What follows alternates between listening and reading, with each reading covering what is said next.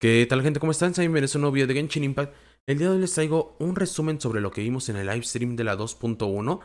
Este resumen va a ser para la gente que a lo mejor quiera ver mi opinión o para la gente que no tenga mucho tiempo para literal ver todo el live stream ya que dura aproximadamente una hora, si no es que un poquito más. Entonces este resumen les va a venir muy bien, ya que a pesar de ser eso solamente un resumen, va a estar bastante completo sobre todo lo que vimos. Y comenzaremos justamente con los banners. Primero tendríamos el banner de Val, que es el que va a venir primero y va a venir acompañada de Sara. Aquí hemos hecho estos caracteres que son justamente los del banner de Val. Y después vendrá Kokomi, esto ya es algo 100% confirmado. Entonces, en caso de que ya tengan sus protocolos ahorradas, vean por quién van a tirar. Yo obviamente tiraré primero por Val. Es un personaje que sí o sí quiero conseguir. Y más que todavía viene con Sara, que yo creo que es un premio doble.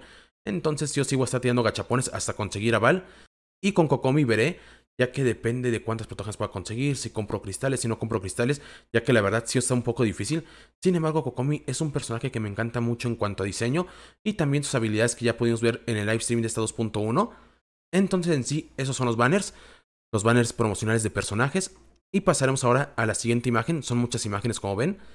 Y en esta imagen pasaremos a ver el banner de armas, o más que el banner de armas, son las armas promocionales 5 estrellas que tendremos en los banners.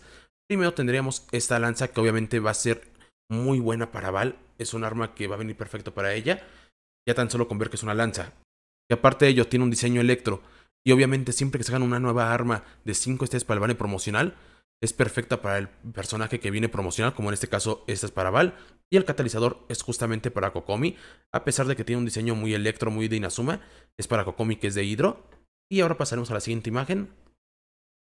Y aquí podemos ver a Aloy, el nuevo personaje de 5 estrellas que tendremos totalmente gratuito y que es de una colaboración que tendremos con Horizon Zero Dawn.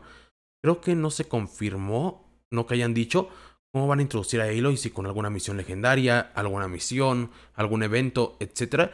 Yo supongo que tendrá su propia misión para que la introduzcan, ya que al parecer los eventos no van a estar orientados para nada con ella. Y aquí nos ponen alguna información que la verdad no le entiendo, pero tan solo con leer esto de 2.1 a 2.2 y pues aquí de 2.2 a 2.3, yo creo que ya queda un poco claro. Esto va a ser para la gente que sea de PlayStation 4 o de PlayStation 5, de hecho lo colocan aquí justamente. Entonces a nosotros vamos a poder conseguir a Aloy desde la 2.1 hasta la 2.2 y en cambio los de PC móvil va a ser de la 2.2 a la 2.3, lo que sí creo que ya quedó confirmado porque por ahí lo vi con una fuente confiable que hablaba sobre que si jugamos ya en cross save en PlayStation 4 PlayStation 5 nos van a dar a Aloy y vamos a poder jugar también en PC o en móvil. Entonces, para la gente que efectivamente tenga a lo mejor algún amigo que tenga esta consola, pues pídanle que les pueda prestar esto e introduzcan su cuenta para que les den a Aloy antes de tiempo. O si no, pueden esperar perfectamente y en la 2.2 se les van a dar totalmente gratuito. Bueno, de la 2.2 a la 2.3 simplemente no se les vaya a pasar estas fechas para poder canjearla. Después tendríamos aquí personajes que seguramente van a venir más adelante ya que nos los introducen, tenemos aquí a Signora. Va a ser ahora un boss semanal que obviamente nos va a dar cosas para poder mejorar nuestros personajes, para los talentos. Entonces tenemos aquí a Signora. Yo creo que ya con esto queda casi confirmado que muy pronto la tendremos como personaje jugable. No sé cuándo, si a lo mejor la tendremos para la 2.3, 2.4, 2.5. La verdad es que esto aún no queda claro. Pero yo creo que ya está muy cerca de que por fin salga Signora. Y es lo que les comenté justamente el día de ayer con mis predicciones, que yo creía que iban a venir personajes nuevos que no habían aparecido en la trama de Genshin Impact, en esto de Inazuma, o personajes que ya habíamos visto, pero que a lo mejor volverían a aparecer, ya que esto siempre pasa con las versiones. Entonces efectivamente aquí tenemos a Signora de vuelta, y obviamente yo creo que al ser un voz semanal va a aparecer en la historia, algo va a tener que ver. Es como cuando Tartagle se convirtió en voz semanal, literal ya había aparecido en la historia. Aparte de ello, alguien que a lo mejor hizo una sorpresa para muchos, fue Scaramouche, este Fatui, ya que también aparecerá en la historia, de hecho lo podemos ver en varias cinemáticas. Este personaje también supongo que ya será jugable dentro de poco, dentro de no mucho, pero yo creo que sí tardará un poquito más que Signora, ya que Signora literal ya es un boss semanal. En cambio, Scaramouche, que yo sepa no, simplemente va a aparecer en la historia. Después de ello pasamos a la siguiente imagen. Y aquí tenemos una imagen de Val con el viajero, ya que también en la cinemática pudimos ver al parecer otro enfrentamiento nuevamente contra Val y aparte de ello esto que parece ser una conversación ya que literal la primera vez Val simplemente nos atacó, no pudimos tener ninguna conversación con ella entonces tendremos nuestra revancha. Y no solamente ello, yo creo que con esto ya se confirma que veremos muchas misiones de Arconte, que avanzaremos bastante en la historia y que seguramente inclusive terminemos ya con la historia, ya que nuevamente nos enfrentaremos a Val, que aparezca Signora, que aparezca Scaramouche, ya parece que esto llevará a la conclusión de esta historia de Inazuma, del Arconte Electroval. Y la verdad es un personaje que me encanta su diseño. Hay gente que todavía no le termina de convencer, pero a mí desde que salió, la verdad, me ha encantado Val. Yo creo que es el diseño que prefiero hasta ahorita, junto con el de Keching. Es un diseño que me encanta.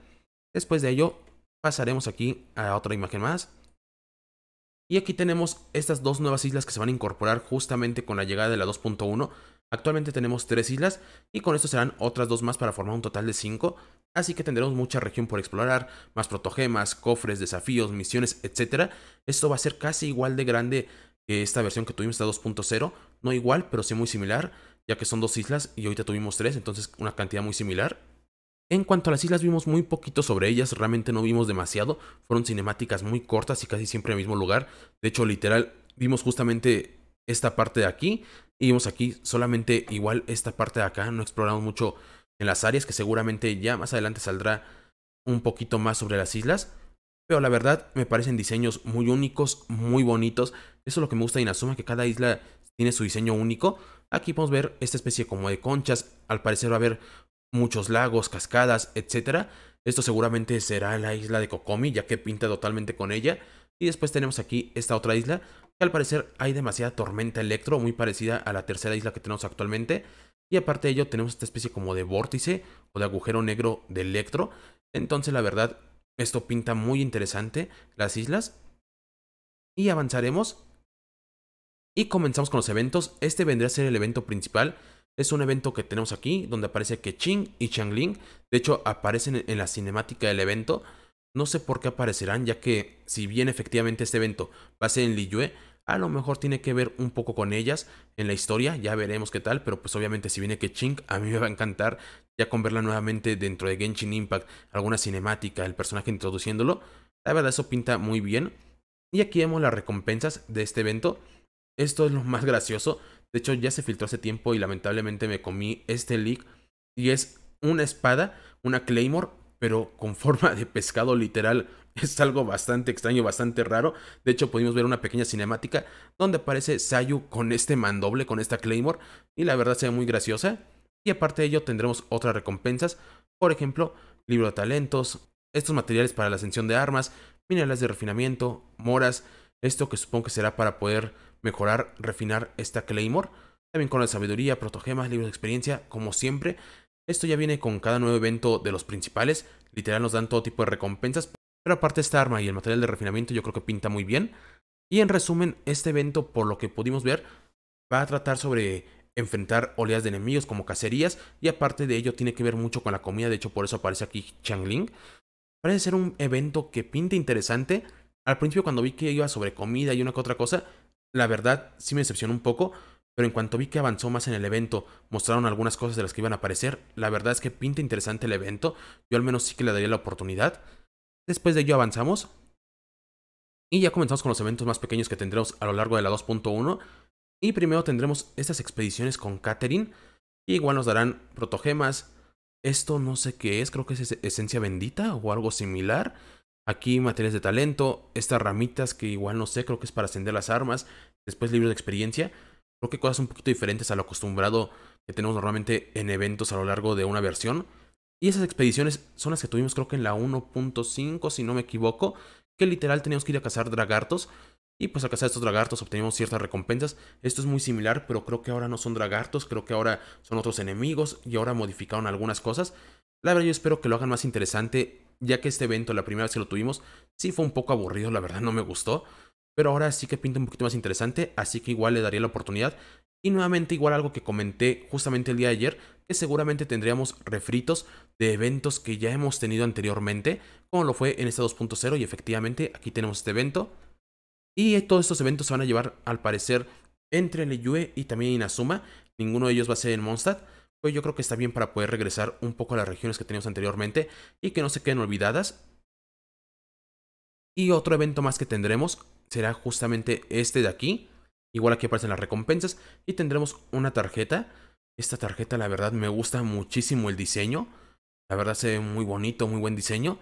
¿Y de qué va a ir este evento? Este evento va a ser del que les gusta a muchos y también del que odian muchos, ya que literal es entrar como una especie de dominio, poner algunas cosas, personajes y enfrentarnos a voces, a enemigos, oleadas de enemigos, etc. Sin embargo, pinta muy interesante, ya que en esta ocasión es diferente, ya que podremos elegir un equipo de solamente dos personajes y al parecer podremos ir alternando o algo similar. La verdad es que un evento que pinta muy interesante, ya que sí se ve diferente a los anteriores eventos que hemos tenido de este tipo de dominios, de jefes, etc. Entonces yo sí que le daría la oportunidad a este evento, de hecho creo que es el evento que más me llama la atención, un evento que por lo mínimo pinta interesante de momento. Y pasamos con el último evento, que vendría a ser justamente este, y un evento que igual me llamó mucha la atención. Esto podría ser un evento que a lo mejor a muchos no les guste y a otros sí, debido a que es un evento de pesca, no es un evento de combate ni nada, simplemente hay que pescar peces. Entonces a la gente que no le guste este tipo de minijuegos igual no les va a gustar y a la gente que sí seguramente les gustará, ya que al parecer son muchísimos peces los que implementaron como 30, 40 peces, algo así. Después de ello podremos inclusive meterlos en nuestro propio estanque dentro del housing y tendremos varias recompensas, varias cositas, la verdad pinta muy interesante esto. Por ejemplo, yo en Final Fantasy XV teníamos un minijuego que era de pesca y a mí me encantaba este minijuego. Entonces que implementen esto, la verdad me parece algo bueno, al menos en mi opinión. Y un evento que por lo menos pinta diferente. A lo mejor si este evento sí lo repitieran varias veces o fuera un evento muy largo, sí que a lo mejor no nos gustaría. Pero bueno, es un evento de estos cortos. Y aquí tenemos las recompensas. Igual esto creo que es esencia bendita o la verdad no sé qué es. Un material nuevo que también tuvimos en el evento principal. Igual lo mismo aquí. Después esto que tampoco sé qué es, debe ser un material exclusivo. Y por último, una caña de pescar. Al parecer, esto de la pesca ya se va a implementar de forma permanente. Sin embargo, lo tendremos también en este evento. Ya que el hecho de que nos den una caña de pescar, como para qué sería, si solamente es un evento. Así que seguramente esto ya vaya a ser de forma permanente. Y después pasamos a lo último. Y esto último ya lo comenté en un video justamente que subí hace unos momentos y es sobre las recompensas que tendremos en el aniversario. Esto es un login diario que tendremos durante una semana para obtener 10 gachapones, mora, minas de refinamiento, libros de experiencia. Aparte de ello, aquí nos comentan que nuevamente vamos a volver a tener el bono de por 2 de cristales para que en caso de que los hayan comprado, nuevamente tengan este bono. Esto puede aplicar para gente que le mete mucho dinero o gente que simplemente le metió dinero para poder comprar estos bonos de por 2 y la verdad viene muy bien. Y aparte de ello, creo que íbamos a tener más protogemas. Sin embargo, esto es algo que me quedó mucho en duda, ya que subí justamente hace unos momentos, como les digo, un video sobre las recompensas de este aniversario, ya que aparecía una imagen muy similar que nos ponía los 10 gachapones y aparte 2270 protogemas. Sin embargo, ahora por lo que he estado viendo, mucha gente compartió esa información de que iban a ser efectivamente las recompensas de aniversario, pero ya hay gente que está diciendo que son las recompensas no solamente del aniversario, sino que también de los eventos, lo que son estos gachapones y también las protogemas. Así que ya me dejó un poco en duda. Entonces estoy esperando que se confirme. A lo mejor en el momento que estoy grabando este video ya se confirmó con el stream en inglés. Realmente cuáles van a ser las recompensas que tendremos del aniversario. Ya que es en caso de que las recompensas del aniversario solamente sean estos 10 gachapones y las protogemas sean de los eventos, la verdad sí me decepcionaría muchísimo que solamente den 10 deseos por el aniversario. Sería muy poco ya que literal esto yo no lo veo tanto como aniversario, sino que lo veo como algo que deben de haber implementado desde hace tiempo, el volver a repetir el bono de por dos. Y pues en sí esa era la información que les quería compartir este video, como les digo, es un resumen, aunque si bien es un resumen no tan breve, a final de cuentas es mejor que ver todo el livestream completo en caso de que no tengan tiempo, pero en caso de que sí tengan tiempo yo les recomiendo que sin duda chequen este livestream, ya que hay cosas muy interesantes, por ejemplo las cinemáticas que vimos, también algunos gameplays sobre los eventos, etcétera pero sí, este live stream de la 2.1 me dejó un poco que desear. Yo me esperaba algo más. No me gustó mucho la forma en que lo presentaron. Yo creo que pudieron haber mostrado mucho más. Ya que realmente mostraron muy pocas cosas. Por ejemplo, de las islas hubiesen mostrado más de las islas. Literal, solamente vimos como una cinemática de 20 segundos y en el mismo lugar. Yo creo que podían haber mostrado mecanismos nuevos, explorar las islas, a lo mejor zonas nuevas, etcétera, como fue en el live stream de la 2.0. Pero en esta ocasión no. Al menos no hablaron tanto, pero sí, sí hablaron un poco, la verdad. Y eso sería todo por el video de hoy. Si les ha gustado, no duden en suscribirse y dejar su like. Se despide de todos ustedes, su amigo Dragnil.